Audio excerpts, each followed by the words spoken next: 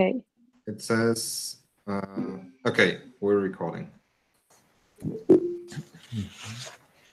Okay, so let's start our mini workshop with the talk of uh, Daniel Peralta Salas, who'll talk about contact structures and the Beltrami fields on the torus and the sphere. Okay, thank you. So first of all, uh, thank you, Eva, for organizing this mini workshop. It's a great idea to have this meeting uh, between the thesis defense of uh, Arnau and Cedric. So first of all, congratulations, Arnau.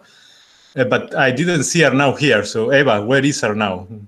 Arnau is uh, Sleeping. indeed he's working at La Caixa already. Ah, okay, okay. I thought Maybe he still was celebrating. No, no, sleeping. no yeah, celebration. after celebration. Okay. So he took he took days off until yesterday to do the defense and no extra day okay. so to a- celebrate. he has a serious job, so okay, he cannot. uh, He's a serious person. he has to go to, to the job. Okay. and also Cedric, uh, I cannot congratulate you yet No. because your defense is tomorrow, but um, I'm sure uh, it will be a great presentation. So good luck. okay, so let's start. Uh, I don't know if uh, I like to interact uh, with people, so I like questions during the talk. Uh, for online talks, this is not as easy as for uh, live talks. But maybe Eva, if someone wants to ask something, uh, just uh, you can switch on a microphone and, and ask. or- Yeah, well, the boss of this meeting finally is Cedric. So Cedric is Cedric the is one the who can switch on the microphone. Okay. So But I Cedric, can uh, knock in his head if this is necessary. uh-huh. So if someone wants uh, to ask something or to comment, uh, you can just uh, ask Cedric, and he will give you permission for for that. okay, so so let's start. So the title of the talk is uh, contact structures uh, on Beltrami fields and Beltrami fields on the torus and the sphere. And I'm going to report about recent results uh, obtained in collaboration with Radu Slobodeanu from the University of Bucharest.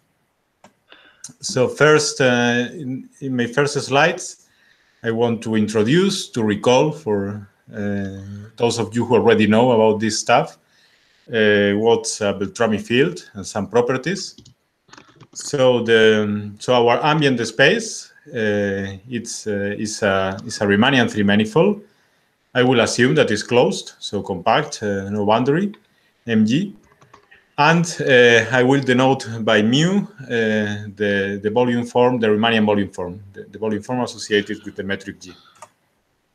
So in this context of a Riemannian three manifold, uh, we can define the, the curl operator or rotational operator as uh, the only vector field, uh, given a vector field V, smooth, the only vector field that satisfies uh, this identity here.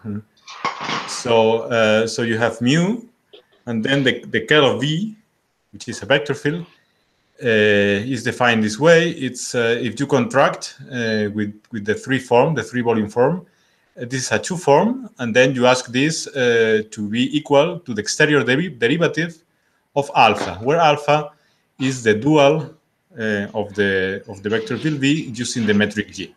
So since mu is a non-degenerate uh, volume form, then this has a unique solution, which is the curl. And of course, in the case of the Euclidean space uh, with the with Euclidean metric, uh, you recover the standard definition uh, using coordinates, Euclidean coordinates, x1, x2, x3, standard definition of the curl operator. So now we are ready to define what a Beltrami field is on a Riemannian three manifold. So, um, so we say that uh, that V, a vector field on Mg, is Beltrami if it satisfies the following system of equations. So the first one is that the, the curl of V is aligned uh, with V. So it's everywhere proportional uh, to V uh, with a proportionality factor F that does not need to be constant. So in general, it's a non-constant function, smooth. And there is the second condition, which is that the divergence of V is equal to zero, which is just an incompressibility condition. So as I wrote here, uh, this div is the divergence operator, and being divergence free just means that the flow of the flow defined uh, by the vector field V is volume preserving. Okay, so now I want to introduce a few properties, important properties of Beltrami fields. The first one is that um, this function f, this proportionality factor f in the equation, in the defining equation of Beltrami field, this is a first integral of the vector field uh, v. So, which means uh, I wrote here uh, that it means that uh, that the vector field has a, a, sort of laminar behavior in the case that f is non-constant, with which just uh, means that in a first integral, the, the integral the integral curves, the, the orbits of v lie on the level sets of the function f. So that's why it's a sort of laminar behavior. And uh, it, it's uh, this property that f is a, is a first integral of v is very easy to check. Just taking the divergence at both sides of the equation, you, you conclude that the gradient of f uh, dot v is equal to zero. So it's, it's a very simple property. A second property, uh, which, uh, which tells you why uh, Beltrami fields are important, is that they are, in fact, uh, stationary solutions of the Euler equations on, on the manifold, on, on MG. And here, Euler equation, I mean the, the, the equations, the system of partial differential equations, that models that describes uh, the dynamics of an incompressible and inviscid uh, fluid flow of the manifold.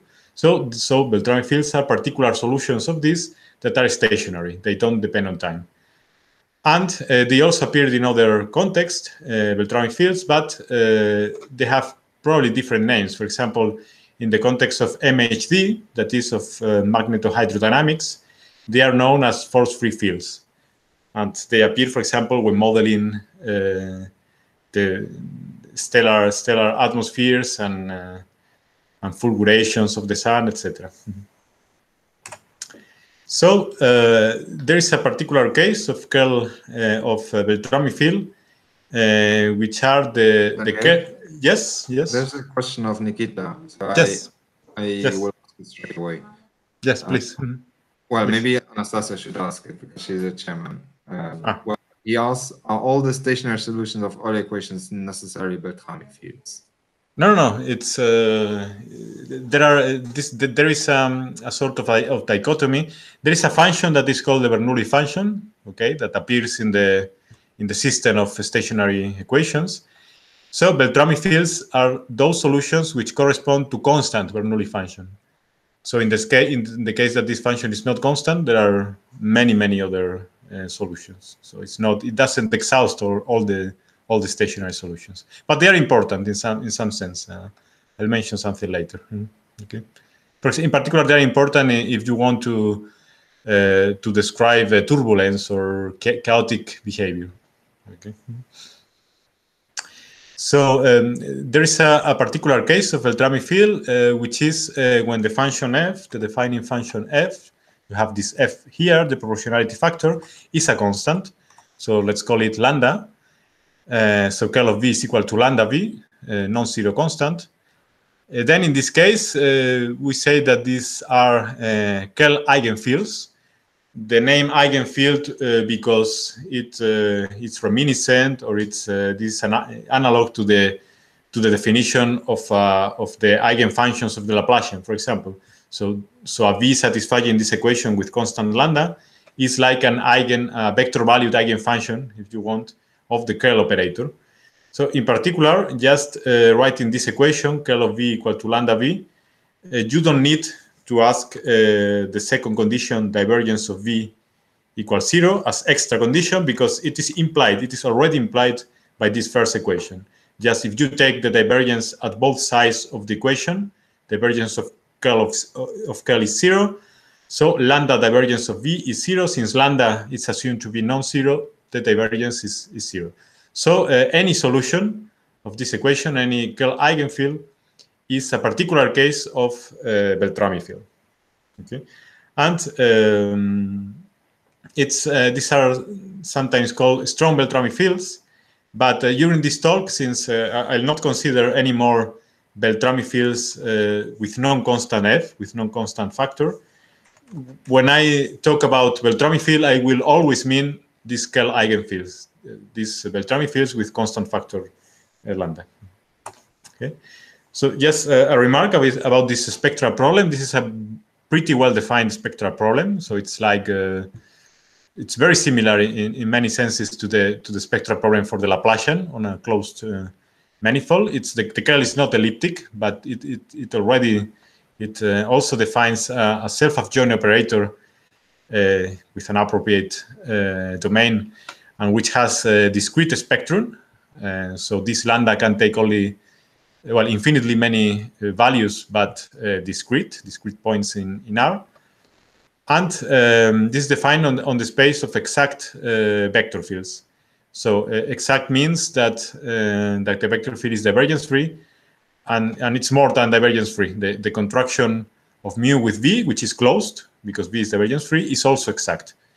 Uh, so in, in, particular, you, you can check that any Beltrami field is exact field because, well, it's, uh, V is, is the curl of another vector field, which is V over lambda. Okay. Mm -hmm.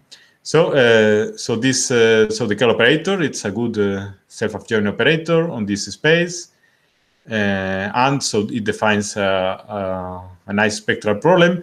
And the eigenvalues are infinitely many but discrete, and uh, but a difference with the Laplacian, with the spectral problem for the Laplacian, is that they have sign. So it's not a positive definite operator, the curl. So the eigenvalues, they are there are negative eigenvalues and positive eigenvalues the multiplicity uh, is it can be bigger than one, but uh, it's always finite, finite multiplicity. And uh, this VK, all the all the eigenfields, defines a, a, basis, an L2 basis in the of the space for the space of exact vector fields. Okay.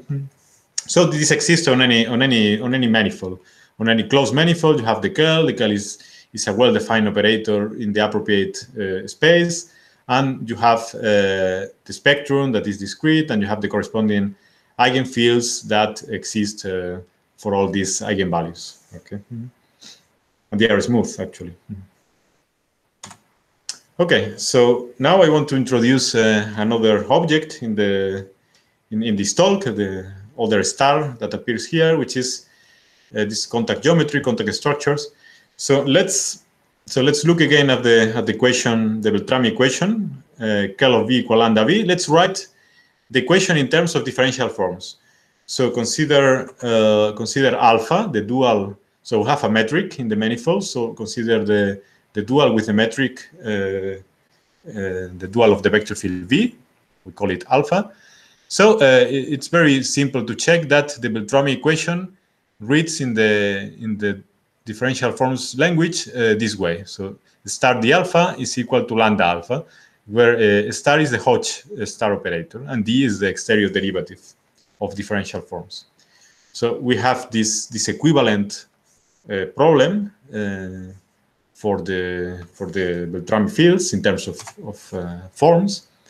So now the observation is that if V is a Beltrami field that doesn't vanish on M, I mean, that doesn't have any zeros, any, any point where it vanishes. Then if you compute alpha wedge the alpha, since the alpha is lambda star alpha, so you, you get here lambda alpha wedge star alpha. So alpha wedge star alpha is, is of course uh, alpha square computed with the metric uh, times mu, the volume form. So this is positive because we assume uh, that V does not vanish at any point of the manifold. Okay, and assume that lambda is positive. So therefore, uh, the conclusion is that this alpha, the dual form, the dual one form associated to the Beltrami field, to a non-vanishing Beltrami field, is a contact form on the manifold M. And actually, uh, any contact form defines a, Reeb field. So the Reeb field turns out to be the Beltrami field, or almost, almost the Beltrami field. The Beltrami field up to this uh, reparametrization, okay, which is the norm V divided by by the norm of the norm of v square, okay, or alpha b. Hmm. So, uh, so after this observation, we can introduce the following definition. So uh, we say that um, so alpha is uh, in the case that v does not vanish. Alpha is the contact form, um, and, and the kernel, the corresponding two-plane distribution uh, C is the contact structure, which is engendered by the non-vanishing Beltrami field V. So any non-vanishing Beltrami field uh, has associated, engenders, a contact form, a contact structure in this very natural way, just simply considering uh, alpha, the, the dual one form. Just an observation, a remark, although I'll not, uh, I'll not emphasize this much, is that uh, the assumption of V uh, not vanishing at any point is strong. Uh, actually, it's typical, or in some in some sense, it's typical. The, the typical situation is that Beltrami fields, curl eigenfields, uh, have zeros, vanish at some points, non-degenerate, so isolated zeros, but they usually vanish. Uh, but still, in some situations, uh, of course, you can prove that there exists no vanishing Beltrami fields. And uh, even for infinitely many eigenvalues, you can check that there exists uh, Beltrami fields that doesn't vanish, that don't vanish. Okay, I'll, I'll comment about this later when we focus on the sphere and on the torus. Okay, so now after this observation that any non-vanishing Beltrami field defines uh, a contact form, a contact distribution, we have to, it, it's important to recall this, this very beautiful uh, theory, uh, which was uh, developed uh, by, by John Etnyre and Robert Ghrist in the early 2000s. And uh, the main theorem of the, of the theory, well, the starting point of the, of the theory is this correspondence theorem, which says that, this already I, I mentioned it before, any non-vanishing Beltrami field is the Reeb field up to rescaling of a factor of some contact form. The contact form is just the dual form uh, using the metric. And conversely, if you have a contact form on a manifold and, um, and a Reeb field, then it is a curl eigenfield for some uh, Riemannian metric on the manifold. And we say uh, actually that the metric E is to is is compatible with the compact uh, with the contact form alpha. The, the, metric G is not unique. There are many choices of this metric. Uh, the simplest choice is this one, probably, that appears in here below. So you have um, a decomposition of the metric in the alpha part, alpha times alpha, plus the orthogonal part. Recall that uh, the, the Reeb field is in the kernel of the alpha, but is transverse to alpha. So this Anastasia, we have a question. Yes. Yeah, yeah, yeah. I was I was waiting for for a small pause. So there is another question from Nikita. Should I unmute Nikita or just read it? You know. Well, just, so the question is that if a Beltrami field has zeros, does that translate into some kind of singularities in the contact form? Yes, yes, uh, yeah. There are singularities, uh, generically isolated singularities. So away from these singularities, um, your your one form is contact, is uh, contact in the usual sense, no singularities. But uh, but then you are in an open manifold. So indeed, it's very interesting to analyze these singularities and how one could extend the contact geometry or all, all the stuff, all the stuff in the contact geometry theory uh, to one forms that are contact with singularities of some control type. But uh, this is um, there are some there are some people who have thought about this, but uh, I don't think there is a, a very developed theory uh, in this direction. But but but yes, the, the answer definitely is yes. It, there there are singularities of certain type, isolated singularities of the contact form. Yeah. Thank you. That sounds exciting. It's okay. yeah, it's, it's very interesting. Uh, and uh, typically, generically, they are non-degenerate, they're hyperbolic. So you have a, a, saddle structure, so you have a local model. So maybe you can you can do some things, but uh, but I don't think it's uh, completely developed. Uh, but maybe in the following years.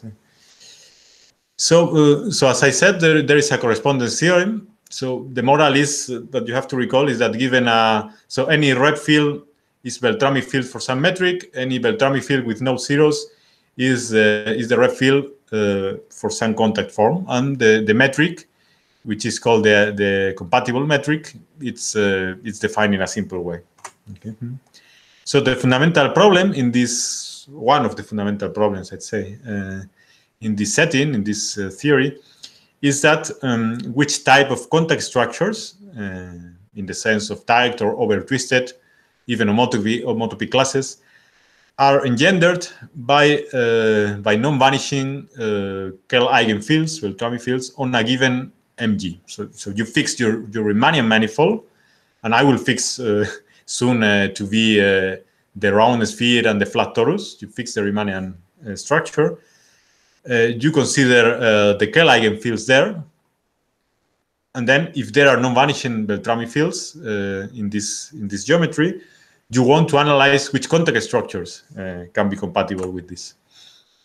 So this is actually related to a very exciting area, which is called contact Riemannian geometry, probably not very, very well developed, although already there are very interesting theorems in this direction, which is uh, this contact Riemannian geometry and which uh, uh, plans to or, or, intends to, to analyze rigidity, flexibility aspects in, in contact uh, topology when you consider also Riemannian metrics. So you, so you are introducing into the picture a, a third object, uh, not only contact form or, or and the Reeb flow, but uh, but the Riemannian metric. So in this setting, the following definition is is quite uh, relevant. This was introduced by Etnyre, Komendarczyk, and Massot a few years ago. So we say that the Riemannian metric on the manifold is weakly compatible with a contact form if there exists a positive function f such that this equation which is uh, which is actually the Beltrami equation, uh, the first of the Beltrami equations, not not the equation of the divergence, just star d alpha equal f alpha, where star is computed uh, with the metric g. So in particular, this uh, this means that the Reeb field is orthogonal with the metric to the contact structure. So you are introducing an orthogonality here. Hmm. So uh, so we say that it's weak, it's weakly compatible if you have this uh, this condition. Okay. And uh, so, in, moreover, if you ask an additional assumption, if you ask not only this, but also that the that the function f is constant, and the norm of alpha is, is constant also, uh, this is stronger uh, condition, so it's called compatible with alpha, and which is uh, this this compatibility, this definition of compatible metric, is uh, is the usual definition of uh, of compatible metric, uh, which goes, goes back to Chern and Hamilton, uh, probably in the in the 60s, and which is already, for example, this metric that I introduced here is compatible uh, with the contact form. Uh, so it's uh, it's compatible in the sense that star d alpha, given a contact form, if you introduce this metric and you compute star d alpha with this metric, you get here a constant alpha, and the modulus of alpha is one. Okay, but it's convenient to relax the condition because this is very strong to demand that the that alpha has constant norm with the metric is, is very strong. So it's, it's, it's convenient to relax the definition and just to say weakly compatible if this condition is satisfied. So actually the remark, the relevant remark here is that if you have a non-vanishing curl eigenfield on, on a manifold, then the metric G of this uh, with which this field is computed is weakly compatible with the contact form uh, alpha engendered by V because uh, because it satisfies uh, so by definition it's a curl field so it satisfies this equation. Star the alpha equal to actually with a constant uh, lambda alpha and alpha is a contact form. So it, it's it's it's actually something uh, which is uh, weaker to be compatible but a bit stronger to be weakly compatible because this f is constant so the assumption that is not satisfied is that alpha in general does not have the Beltrami field, in general does not have constant norm. So that's why uh, you need this more general definition. Okay, but it's so it's important to recall this weak compatibility.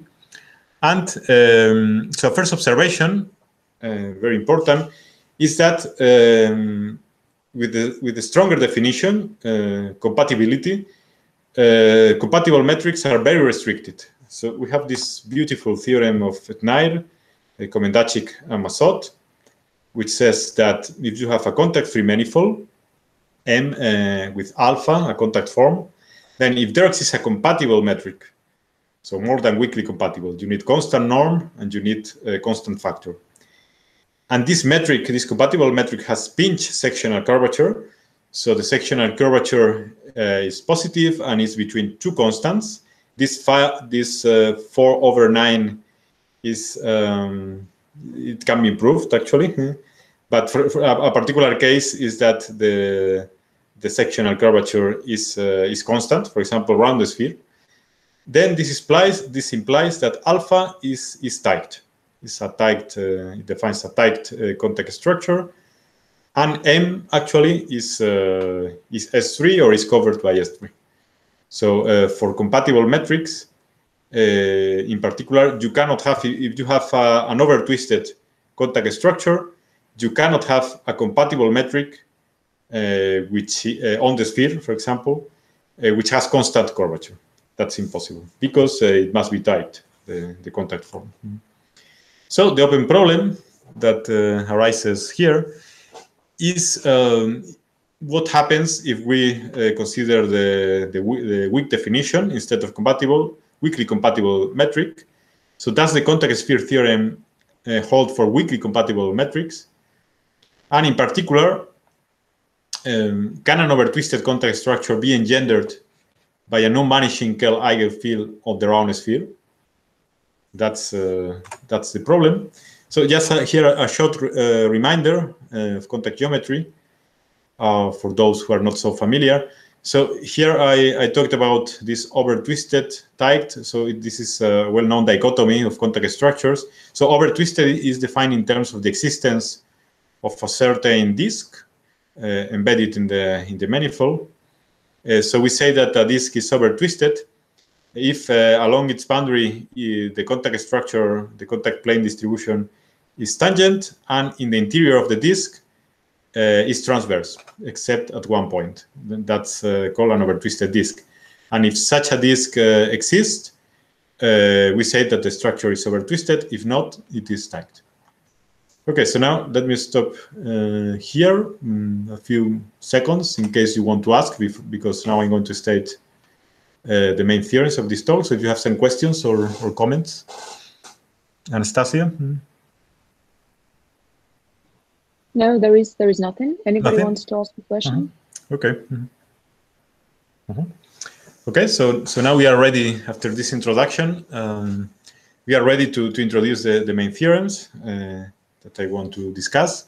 So okay, so so our manifolds will be in this talk will be very simple. Just uh, S3, the three sphere, and uh, later the the three torus.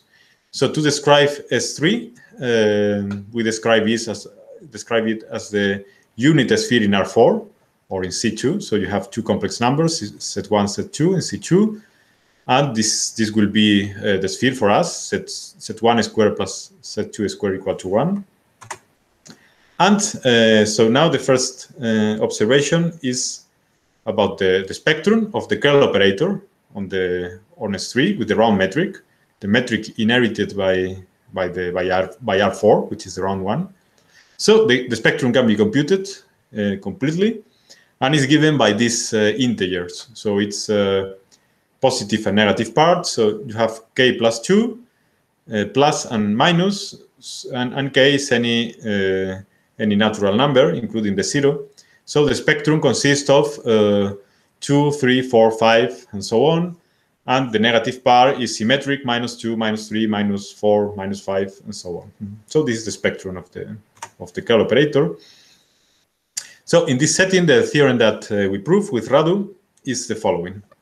So first, uh, first observation is that uh, if you if you have a non-vanishing Beltrami field on on S3, a curl eigenfield on S3, then necessarily this eigenvalue lambda must be even.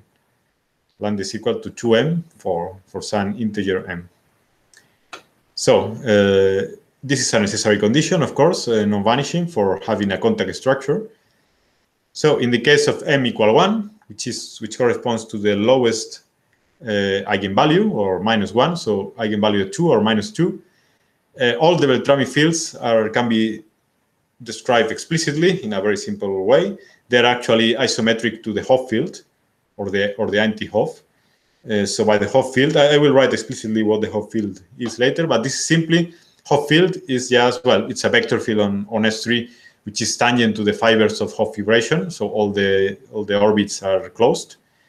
And, uh, and, in particular, this is uh, this Hopf field, the, the field I'm considering here is just the, the Reeb the Reeb field associated to the standard tight contact structure on the sphere, just the Hopf field. And the anti-Hopf is the is the is the um, Reeb field associated to the let's say anti-standard uh, tight uh, anti-standard structure or, the or the or the tight one composed with an orientation reversing diffeomorphism. I, I write the explicit formulas later. Mm. So um, so in this case of uh, smaller of the smallest eigenvalues, two or minus two, the contact structures are tight. You have the Hopf field, so only tight uh, contact geometry here. But the point is that um, for m bigger or equal than 2, for, for each one, for each m, uh, there exists a, a non-vanishing Beltrami field uh, Vn that en engenders an over-twisted contact structure. Mm -hmm. And actually, uh, you can compute the corresponding homotopy classes, which have Hopf index, which is given by this formula.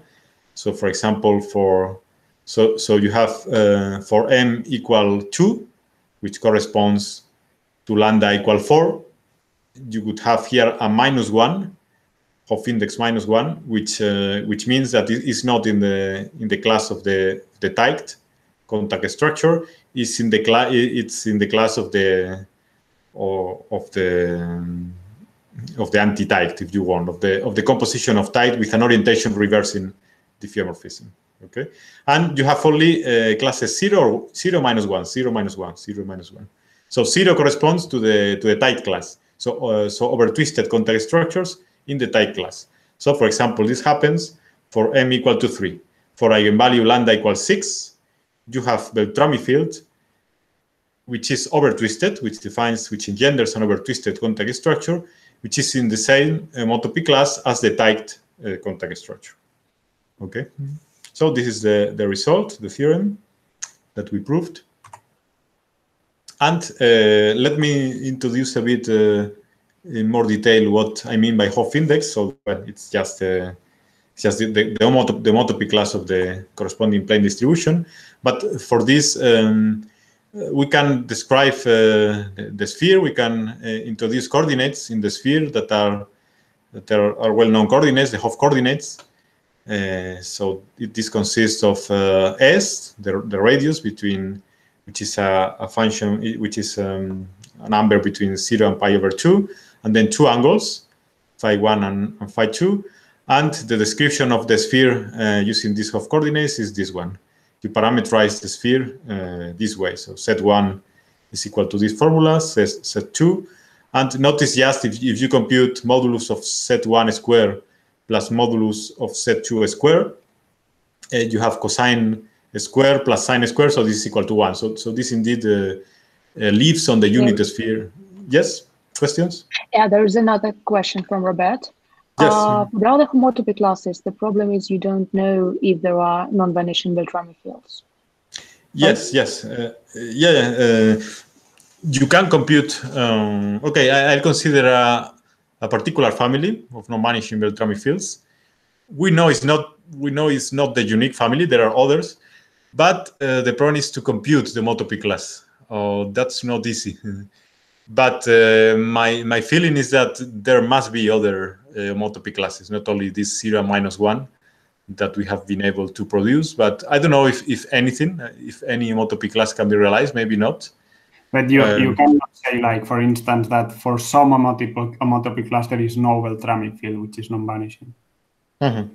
No, we, we don't know this. Yeah, yeah. For uh, uh, always with the with the round metric, right? Because this is uh, uh, with the compatible weakly compatible metric. No, no, this we don't know. Hmm, no. Okay. No, I don't know. Hmm.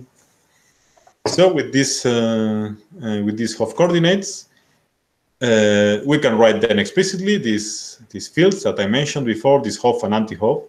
So uh, so R, uh, this is the sum of these two rotations, and R prime is like is is the same as R but with a minus. So it's like a mirror image of, of this of this R. And in particular, uh, if you compute the curl of R and or and of R prime, then uh, R corresponds to eigenvalue two, and R prime corresponds to eigenvalue minus 2 mm -hmm okay. Which uh, which is uh, compatible or which you can understand for example because uh, r prime is uh, it, it is obtained uh, from r by composing with a with a diffeomorphism that in, inverts orientation a very explicit diffeomorphism. So with this diffeomorphism inverting the orientation you change the sign also of the of the eigenvalue of the curl operator. Mm -hmm. Okay, so uh, so then you can define, uh, uh, you can compute this this Hopf index, this homotopy class. of course, you, to compute the homotopy class, you have to fix a trivialization of the tangent bundle, and this always exists because it's a three manifold.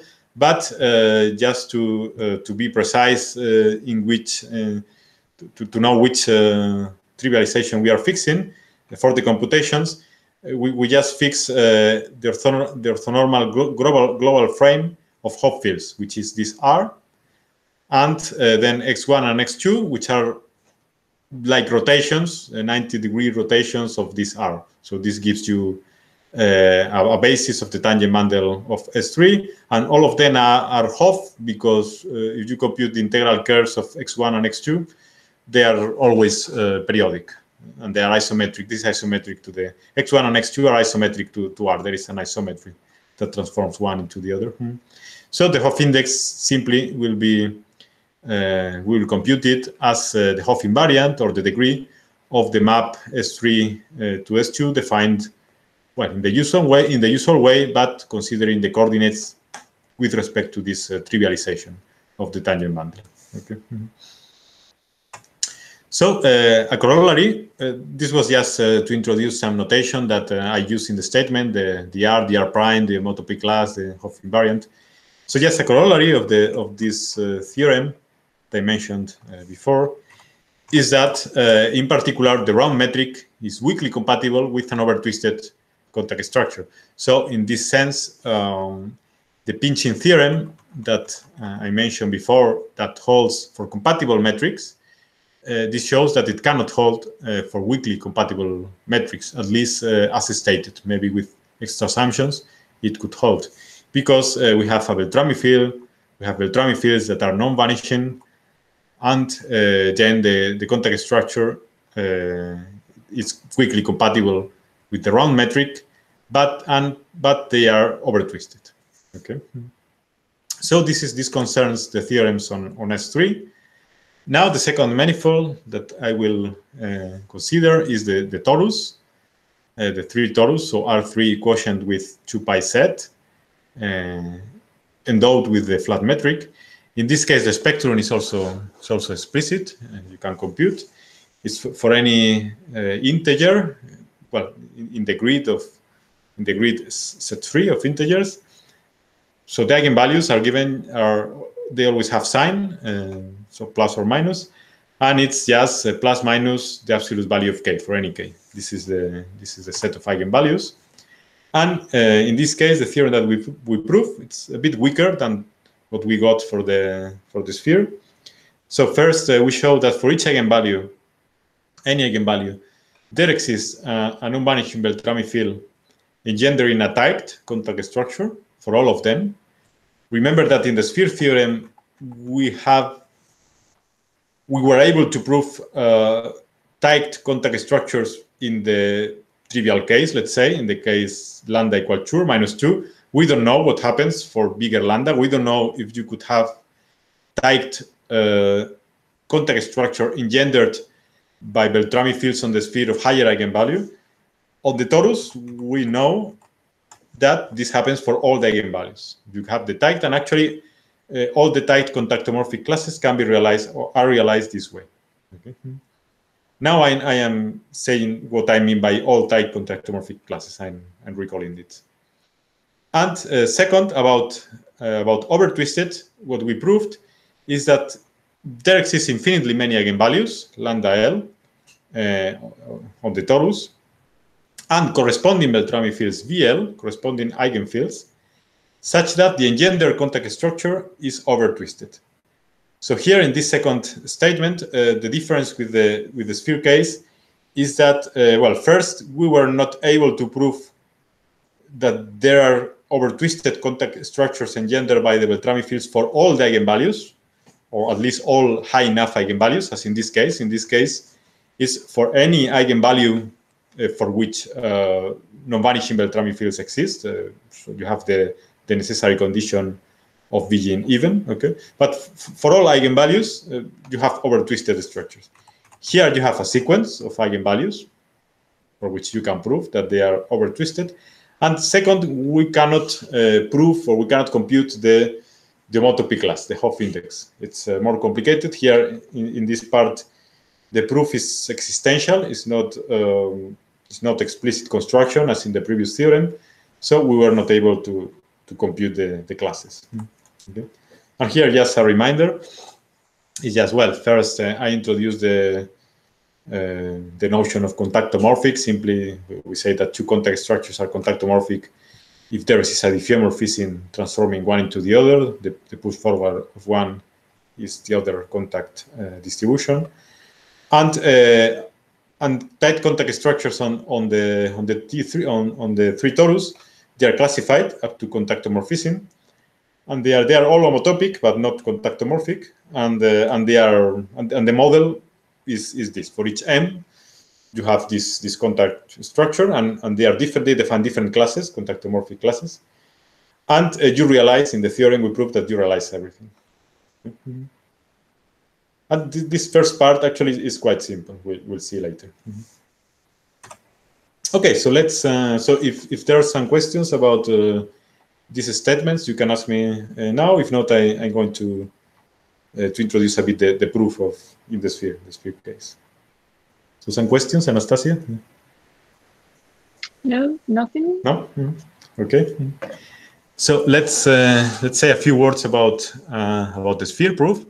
So okay, so let's um, so we introduce these coordinates, these Hopf coordinates, which, which have uh, they, they have a very clear uh, interpretation. So this S, so the coordinates. So in, in these coordinates, you are uh, you are looking at the sphere as uh, uh, as uh, the, the, sphere minus, if you consider the sphere minus the Hopf link, then this is diffeomorphic. So you have the sphere, you, you extract the Hopf link. This is diffeomorphic to a torus times an interval, right?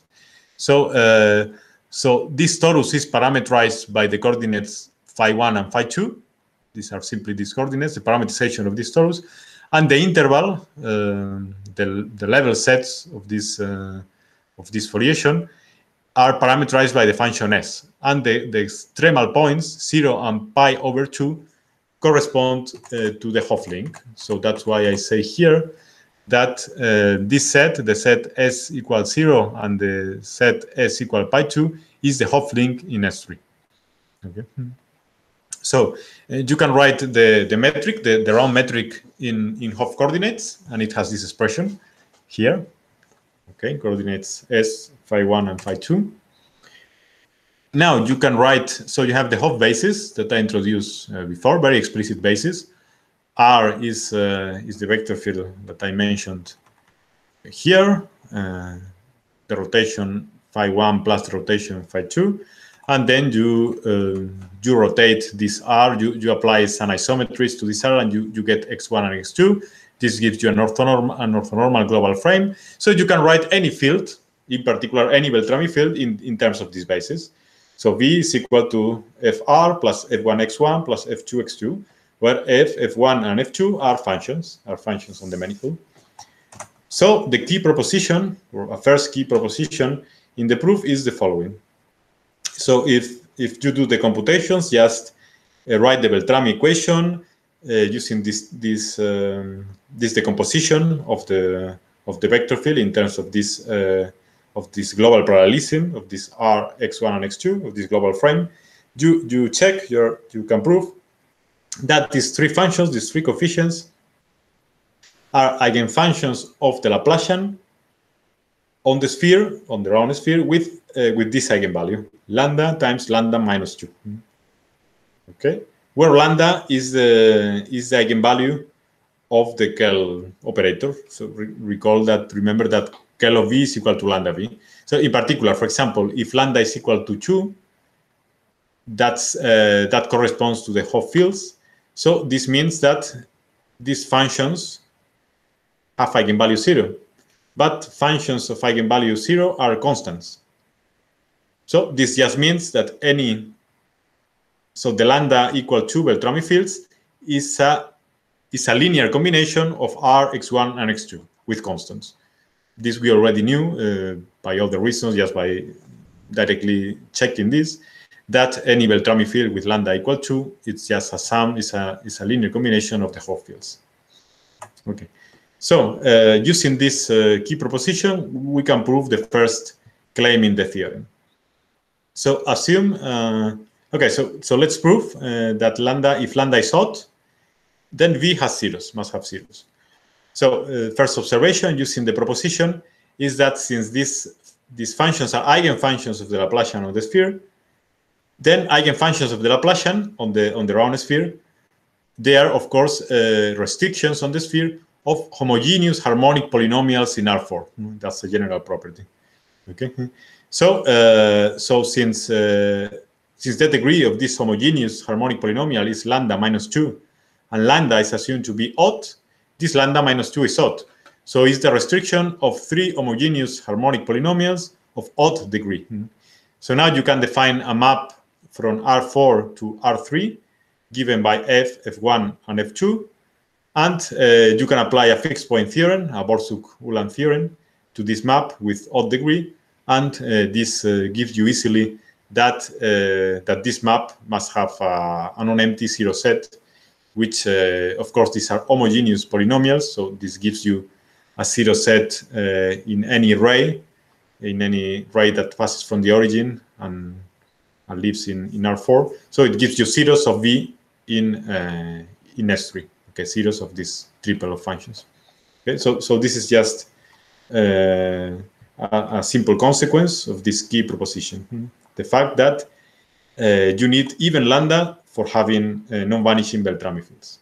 Mm -hmm. So uh, so to prove the second part, uh, the construction of over-twisted uh, contact structures uh, engendered by Beltrami fields on the sphere, you need this construction. It's a construction that uh, we introduced with Boris Khesin and Sergei Kuksin and a few years ago. And it's just this claim, which is not difficult to, to check. So if you have two functions, two real valued functions, f and g, smooth, then this vector field, uh, which is, uh, so it's, so it's the function f evaluated uh, in cosine square of s, s is the Hopf coordinate, uh, times r plus g cosine square, g of cosine square of s r prime, this vector field, this combination of r and r prime with these non-constant coefficients in general, is a steady Euler flow on the round sphere. It's a stationary solution of the Euler equation on the round sphere, which is not Beltrami in general. If you compute the, the Bernoulli function, something, an object that is called the Bernoulli function, this is not this is not constant in general. But uh, the first observation is that for suitable choice of, of f and g, v is indeed a Beltrami field. So uh, if you take lambda equal to m, the even uh, eigenvalues, and you take uh, f uh, that depends on m, g that depends on m, to be uh, these, these functions here, so this PM minus one or PM minus two, these are uh, particular cases of uh, of this family, P star one one uh, is the family of orthogonal Jacobi polynomials uh, of degree m minus one in this case and m minus two in this case. It's a very explicit family. I, I will I will show you a few examples later. So they are polynomials in terms of these trigonometric functions, 1 minus 2 cosine square of s. And um, with these choices, you can show that uh, this V constructed this way with this Fm and with this Gm, they are Beltrami fields. They satisfy the Beltrami equation for this uh, lambda, lambda equal to 2m. Okay. So a first observation from this is that since Jacobi polynomials, uh, the zeros of Jacobi polynomials have some interesting properties. In particular, they, they never coincide. The zeros of m minus 2 of the polynomial n minus 2 are different from, from those of the polynomial n minus 1, and they are uh, between two zeros of n minus 1, there is one zero of n minus 2. They are like interlaced. Then you can check that the Beltrami field constructed this way is not vanishing, any Beltrami field. And uh, you can check other properties.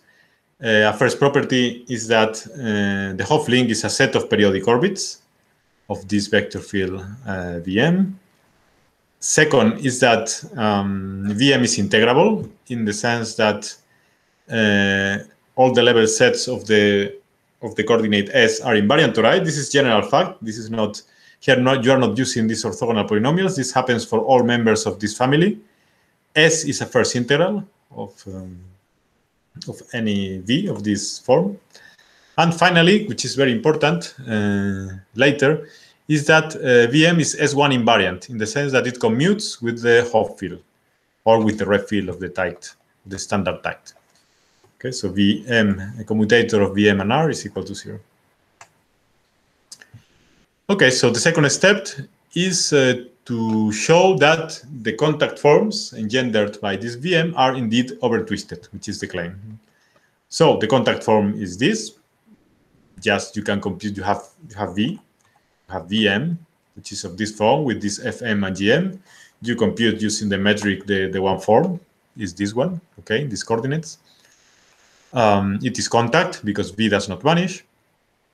And uh, moreover, uh, the observation is that uh, it is S1 invariant. If you compute the Lie derivative of this one form with respect to R, with respect to the Reeb field, this is 0 mm -hmm. So why this is important, this Lie derivative or this S1 invariance? Because we are going to use this criterion of Giroux for contact forms, for S1 invariant contact forms, which says the following. So, uh, so, so we have, so if we consider this object here, which is called a characteristic uh, surface, so it's the set of points on the sphere such that uh, at each point R the symmetry, uh, the Hopf field, the, the Reeb field of the tight, uh, whatever you want to call it.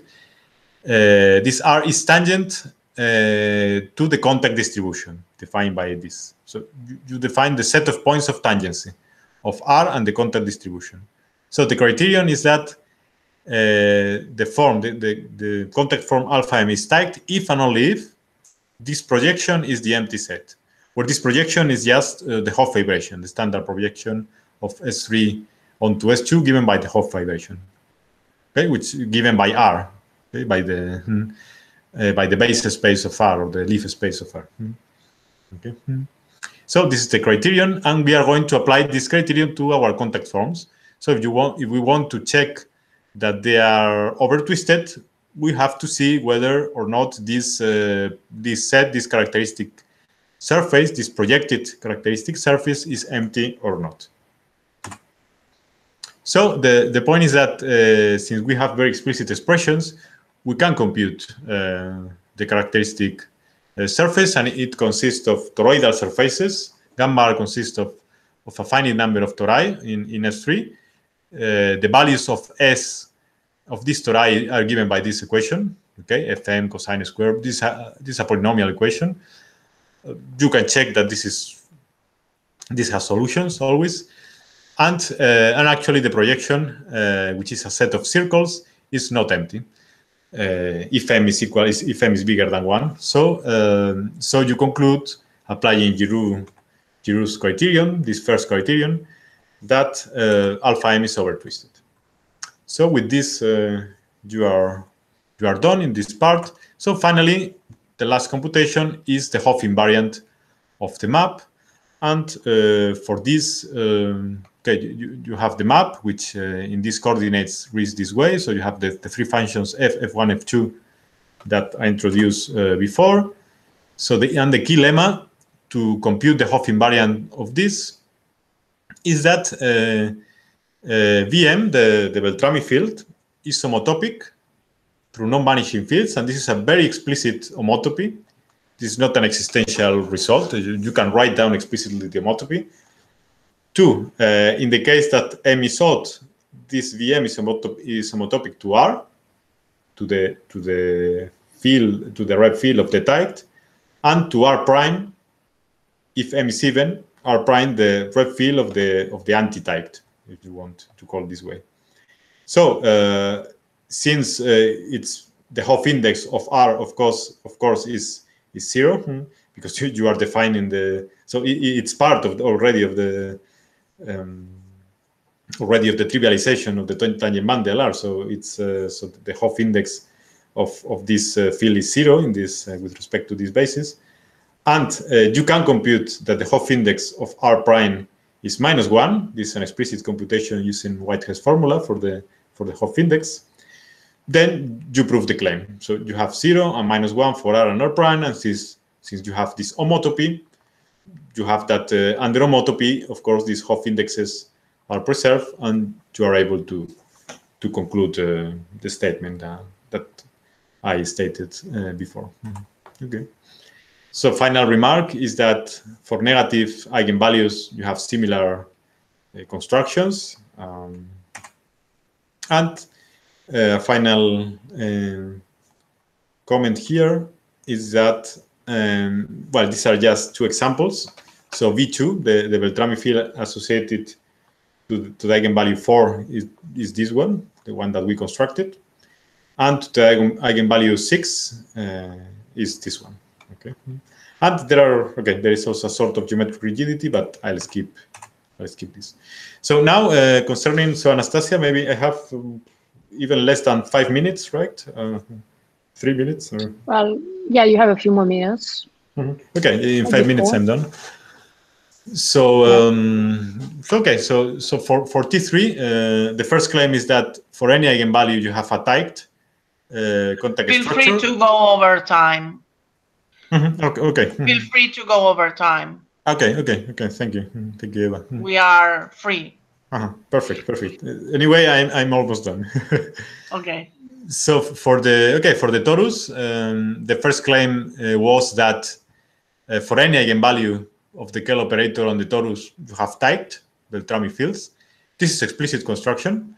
So so you can check. So, so let's write explicitly this vector field of the torus. So so you have cosine ks b plus this other thing here. B is a is a vector, a non-zero vector in R3, which is orthogonal any zero vector which is orthogonal to, to k. k is the set of integers whose modulus gives uh, the eigenvalue. Okay, so you consider this field vk here, and uh, you can check this these properties. The first property is that it has it has constant modulus, which is equal to b, so it's not zero. In particular, it defines a contact structure. The second one is that um, the associated map is homotopically trivial. So this has so any vector field in this family vk is homotopic to a constant. And um, and also third property is that the associated contact structures are tight. And this is this is not complicated uh, because um, you can relate this uh, the, the the dual one forms of this with the standard tight contact forms in the covering, the universal covering of T3, which is R3. So you prove in the universal covering tightness, and this, of course, go, goes down uh, to T3. Mm. And uh, moreover, in particular, for some particular cases of these constants, so k equals 0, 0, m, integer m, and b, this uh, field, 0, 1, 0, you can find, or you find, uh, you substitute here, you, you find the standard family of contact structures, this family that um, I wrote it here um, somewhere here. So, so you get uh, exactly these uh, contact uh, forms. Okay. Hmm. So, so this this first part is very simple. It's just based for the torus. The, the part, the proof of the first part, it's based on, on a very explicit expression and a simple computation. Hmm. So the second part, sorry. Hmm. So to prove the second claim, uh, which is that uh, there exists infinitely many eigenvalues such that the corresponding structure, contact structure is over twisted, you use uh, you use uh, another different family of Beltrami fields that are still S1 invariant. So S1 meaning uh, that commute with with the translations in the x3 direction. Okay, and so you, you uh, you, you introduce coordinates x1, x2, x3 standard coordinates in the three torus. So you consider vector fields of this form, which is um, so you have the in the third component you have lambda f, lambda is eigenvalue, and uh, the first two components, it's uh, like a Hamiltonian system. Okay. And this f is not uh, is not anything. This f is a function which is a lambda square eigenfunction of the flat Laplacian on T2. Okay. So so maybe uh, now uh, Eva and Cedric, you are now uh, thinking about the B Beltrami fields and uh, sees the analogy. Uh, but here, uh, this is not. Um, it's different in the sense that uh, this is not okay. This is defined everywhere. Is that there are no singularities, and and the vector field hmm, is not. Uh, this is not a, a B field because you, you don't have the x3 multiplied uh, here, so it's not it's not tangent to the uh, to the x3 equals zero. Okay, but there is a there is a sort of uh, of analogy. Okay, so so you have these uh, these vector fields uh, v, and the lemma, which is key. so so you can understand this as a recipe to construct Beltrami fields in the three torus. So construct take any lambda square eigenfunction of the of the flat Laplacian on on T2 and now if you have this, you, you write this expression, and this and this turns out to be a Beltrami field on the three torus. That's the recipe. Okay. So the lemma is that uh, it's a lemma in spectral geometry, uh, so nothing to do a priori with uh, with these Beltrami fields. Is that there exists an infinite sequence of eigenvalues and corresponding eigenfunctions of the Laplacian on the two torus, uh, such that uh, for each eigenvalue, uh, the nodal set of, of the function of the eigenfunction has some properties.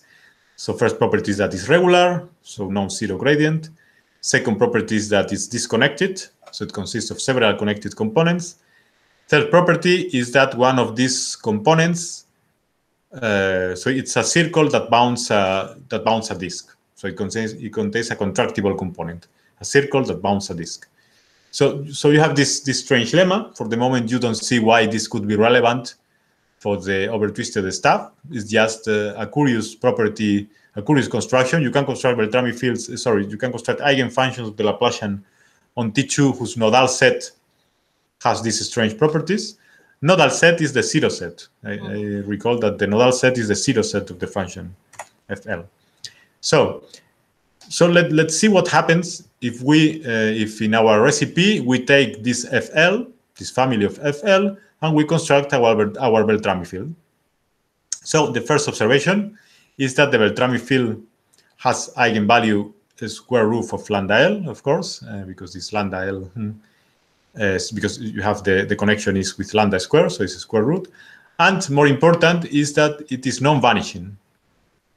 This Beltrami field is non-vanishing because um, you see that this vanishes where f is zero at the points or at the lines actually, because this has symmetry, where f is zero and where the gradient of f is zero. But this does not happen because the nodal set, the zero set of f is regular. So the gradient part never vanishes where f vanishes. Okay, so that's why it's non-vanishing. Hmm. Yeah. Yes? Uh, no, some questions? Uh, no? Second is that uh, there is an, an S1 invariance with respect to the action generated just by these rotations, partial x3. Okay, so you compute, um, so it's uh, the, the Lie derivative of, of the correspond of the associated contra, contact form with respect to this field is zero. You have S1 invariance. Here the projection is very simple, just the, proje the projection onto the, the two torus, the first two components. And third is this uh, Giroux characteristic surface. Remember that um, this characteristic surface is just the set of points uh, on the on the three torus in this case, such that uh, the symmetry, uh, in this case partial x3, is tangent to the contact distribution defined by eta L. So this gamma L set, when you project x1, x2 projection, it's it turns out to be precisely the nodal set of the function. So it's the zero set of the function FL. Hmm. So you understand uh, pretty well in the sense that if you understand the zero set of your eigenfunction, you know what the what this projection is. So now we apply. And of course, yes. one question. Yes. Uh, uh, so this game you can course extend it in the you have used strongly that the vector field doesn't, Sorry, uh, doesn't uh, vanish. So you are using a yes, strongly yes. that you are regular. Now, Can yeah, you hear me? yeah. Okay. So did you No, I- now I cannot. extensions of this game to your oh sorry. Uh that you are using a Now, strongly yes, do you yeah, hear me? sure. okay, that you are strongly using the the fact that the Reeb vector Mhm. field doesn't vanish in Right, right, right. Yeah. hmm. construction. Did you think about the this this paper that you are writing with with Cedric and Eva? Professor Miranda. Professor Miranda. Did you think what what would happen if you relax the condition uh, for this V contact? Sorry, I think I didn't hear. it. There are some problems with the connections because I, I didn't. Maybe it's my after all. Maybe the connection problem is my problem. Yeah, yes. Do you hear me now? but it It's cuts, maybe my it cuts microphone. sometimes. So, Okay. uh, so you said, yeah, it, it Yeah, I have to be close to my microphone, I think, or shout. No, did you think like if you could try to extend this argument to the B case? ah, mhm. Maybe this is a question for the end, for the end of your no, um, it, but it's it's quite different. So i- in a sense, it's um, Yeah. okay. It's similar because you have uh, uh, a structure of this vector field V that it looks like more or less, but uh, but it turns out that it's a big difference to have the B the B tangent bundle. I mean, because in the B you have the X3 here, right? You have the that this vanishes. So for You cannot argue the same. I mean, the argument will fail in the exactly first yes because uh, then uh, the field there is tangent to the uh, to the critical surface uh, here is not here is not tangent uh, you have if you restrict to to x3 this is not uh, i mean the, this component is not is not zero hmm, actually Uh, so hmm. so it's quite uh, yeah it's quite different but it's true that uh, in both uh, uh, studies uh, you use or you you make use of uh, of some spectral properties or you, you are able to, to, to Yes. use some properties of eigenfunctions of the Laplacian or lambda square. And for, for example, for this first part here, the regular, uh, it's um, well, we don't need Morse, so in this sense, it's it's easier for for Eva and Cedric stuff. uh, we need Morse. Here, just regular is is enough. Uh, uh, but it's it's an argument also genericity argument uh, of this type. Yeah. Hmm. Hmm, But yeah, Okay. some techniques could be similar, but uh, at the end, the, the statements are, are quite different. Yeah. Hmm. Yeah. So so the um, so the criterion. So so you have to apply a second criterion. The first criterion here of Giroux that I stated before doesn't say anything, doesn't apply. So the criterion is that so if you consider the base of this fibration, this T2 uh, of the projection, so T2, and you consider the complement of the projection of your characteristic surface, so you consider this set in the in the torus, in the two torus, then if this set has a component that is diffeomorphic to a disk, then uh, the claim is that the contact structure uh, defined by, by the one form is stacked only if, uh, so it's, it's not a- an equivalence, it's not if and only if, but it's a necessary condition, only if, uh, if this projection, if this set is connected, if it contains just one connected component.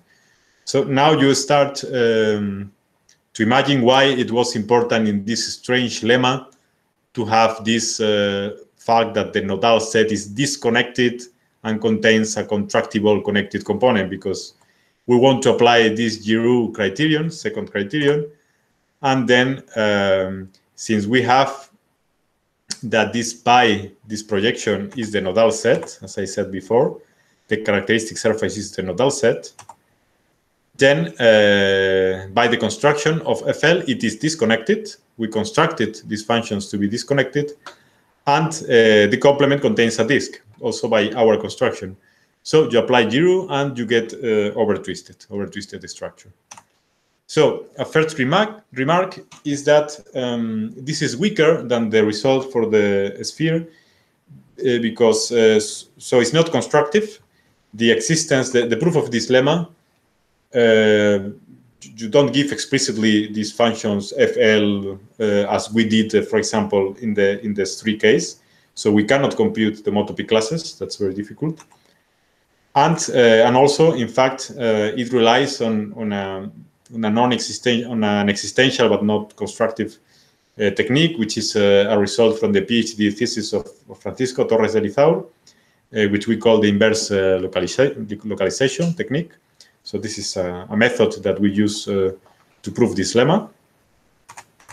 And um, and uh, and then uh, consequence of this is that we cannot compute the Hopf index of the overtwisted contact structure um, because of this not explicitness.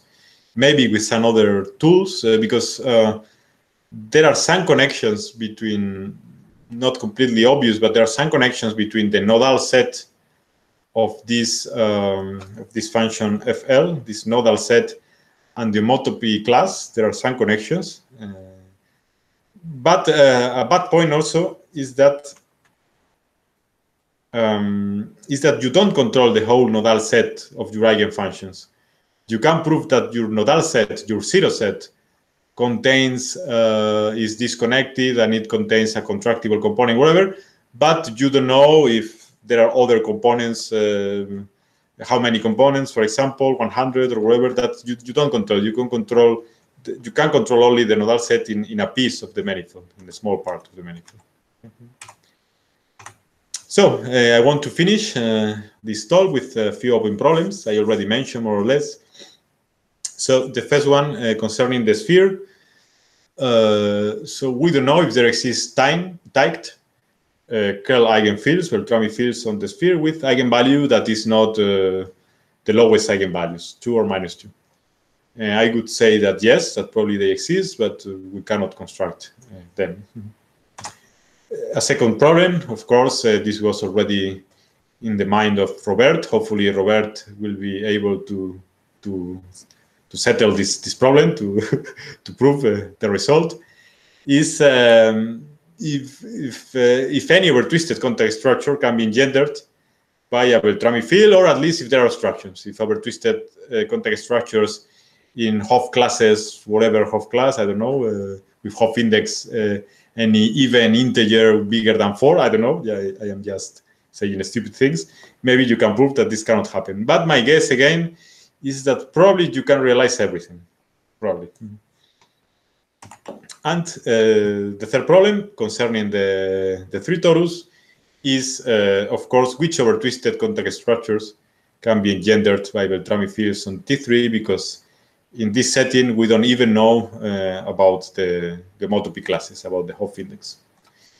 Okay, so uh, that's all. Thank you very much. Congratulations. And now, and Cedric, hopefully also congratulations, but let's wait uh, a bit, uh, one day at least. Okay, thank you. Thank you, Daniel, for a wonderful talk. Thank you. Uh, there are any questions on this point, you can still ask them probably.